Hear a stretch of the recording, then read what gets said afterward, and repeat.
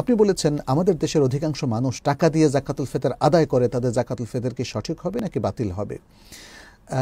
প্রথমত আমরা দেখি যে হাদিসের মধ্যে যতগুলো হাদিস আছে, সেগুলো সবগুলোতে একশর পরিমাণ খাদ্য অথবা খাদ্যের ক্ল্যারিফিকেশন দেওয়া হয়েছে, খেজুর অথবা ভুট্টা বা ইত্যাদি এভাবে বলা হয়েছে। কোনো হাদিসে জাকাতুল ফেতরের ব্যাপারে বলা হয়নি টাকা দিয়ে, স্বর্ণ দিয়ে, রূপা দিয়ে, মুদ্রা দিয়ে আদায় করতে হবে বা আদায় করা যাবে, এটা বলেনি। স্পষ্ট রেকমেন্ডেশন হচ্ছে খাদ্য দিয়ে এবং আবু দাউদের মধ্যে আমরা দেখি যে ইবনে আব্বাসের হাদিসে রাসুল সাল্লাহ সাল্লাম বলেছেন ও এই জাকাতুল ফেতেটের উদ্দেশ্য হচ্ছে অনর্থক কথা কাজ এবং অশ্লীলতা থেকে রোজাদারের সিয়ামকে পবিত্র রাখা এবং মিসকিনদের খাবার প্রোভাইড করা। মিসকিনদের খাবার প্রোভাইড করা।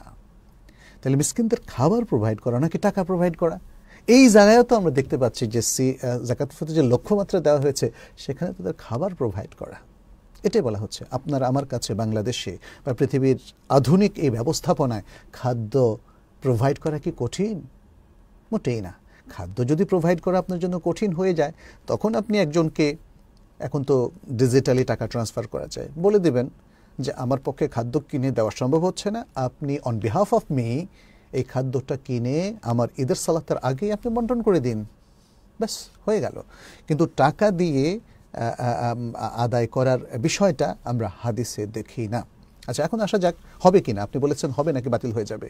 এক্ষেত্রে আমরা দেখি যে ওলামাই কেরাম এখানে কিয়াসের পন্থায় তারা বলেছেন, খাদ্য দেওয়ার টাকা দেওয়া কি কথা?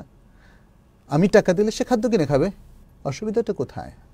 মানে আলটিমেটলি হাদিসের উদ্দেশ্য তো সাধন হলো। এভাবে আরও নানা যুক্তি এবং আর্গুমেন্টের মধ্য দিয়ে একদল ওলামাই কেরাম প্রাচীন যুগে এখনও তারা টাকা দিয়ে জাকাতুল ফেতের আদায় করা হবে বলে তারা মত প্রকাশ করেছেন।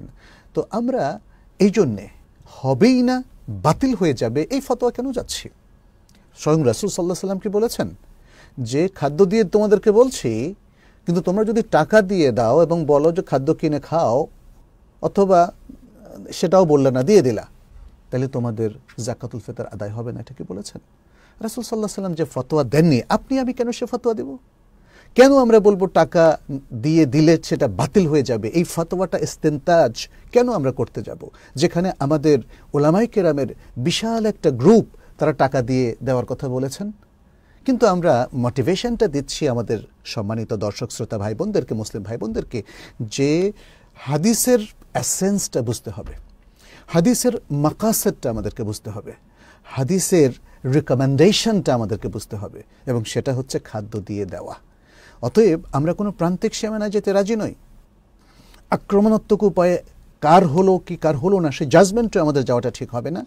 এই জন্য আমি আপনাদেরকে ব্যক্তিগতভাবে বলব যে আসুন, আমরা খাদ্য প্রোভাইড করি, খাদ্য দিয়ে জাকাতুল ফেতার আদায় করি। এটাই সুন্নার নির্দেশনা, এটাই রসুল সাল্লাহ সালামের আমল, এটাই আমাদের শ্রেষ্ঠতম প্রজন্ম সাহাবাই কেরামের আমল, এটাই আমাদের সাল্লাহ সালিহার আমল। তাহলে সে আমলটা আমরা আজকেও করি। আজকে লক্ষ লক্ষ বনিয়াদম সারা বাংলাদেশে এখনও খাদ্যের অভাবে আছে। তাদের কাছে পৌঁছিয়ে দেন। আপনার লোকালয়ে যদি না থাকে, অন্য জায়গায় পৌঁছিয়ে দেন। আপনি বিকাশের মাধ্যমে টাকা বিকাশ করে দেন এবং বলেন যে ঈদের সালাতের আগে যেন প্রত্যেকটা জনপদে সেই দিনাজপুর, রংপুর, লালমনিরহাট কুমিল্লা, চট্টগ্রাম কিংবা দক্ষিণবঙ্গ যেখানে রয়েছে হাজার হাজার মানুষ খাদ্যহীন অবস্থায় আছে, তাদের কাছে পৌঁছে যাক। তো যাই হোক, আমার কাছে মনে হয় আমাদের সামনে স্পষ্ট হয়েছে, আমরা সব সময় মেরুকরণ যেন এটা আসলে সঠিক নয়।